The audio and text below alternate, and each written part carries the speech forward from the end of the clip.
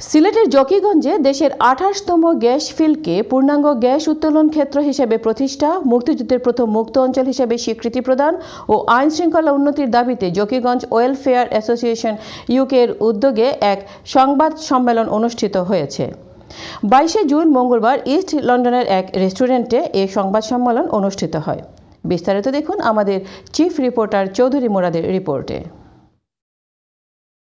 সিলেটের জকিগঞ্জে দেশের আঠাশতম গ্যাস ফিল্ডকে পূর্ণাঙ্গ গ্যাস উত্তোলন ক্ষেত্র হিসেবে প্রতিষ্ঠা। মুক্তিযুদ্ধে প্রথম মুক্তাঞ্চল হিসেবে স্বীকৃতি প্রদান ও আইন শৃঙ্খলা উন্নতির দাবিতে জকিগঞ্জ ওয়েলফেয়ার অ্যাসোসিয়েশন ইউকের উদ্যোগে এক সংবাদ সম্মেলন অনুষ্ঠিত হয়েছে।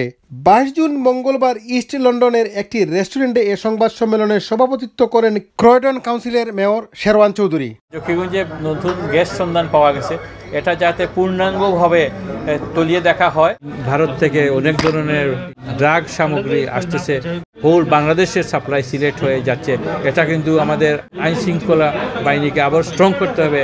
একুশ নভেম্বরে জকিগঞ্জে প্রথম বাংলাদেশে স্বাধীন হয়েছিল এটা কিন্তু আজ পর্যন্ত বাংলাদেশ সরকার পুরোপুরি গেজেটে তুলে একটা স্বীকৃতি দেওয়া হয়। সবাই লিখিত বক্তব্য তুলে ধরেন ও সভা পরিচালনা করেন সেক্রেটারি আবুল হোসেন। যে জকিগঞ্জে গ্যাস কেন্দ্র পেয়েছে এটা পূর্ণাঙ্গভাবে গ্যাস যেন উত্তোলন হয়। তাদের যে মাদক কারবার যে রোড ব্যবহার করতেছে জকিগঞ্জের রোড। এটা চিরতরে যেন বন্ধ হয়। স্বাধীনতার প্রথম মুক্ত অঞ্চল জকিগঞ্জ। এটা যেন পূর্ণাঙ্গভাবে স্বীকৃতি স্বরূপ কোনো স্তম্ভ করা হয় যাতে আমরা জানতে পারি যে জকিগঞ্জই হচ্ছে বাংলাদেশের প্রথম মুক্ত অঞ্চল।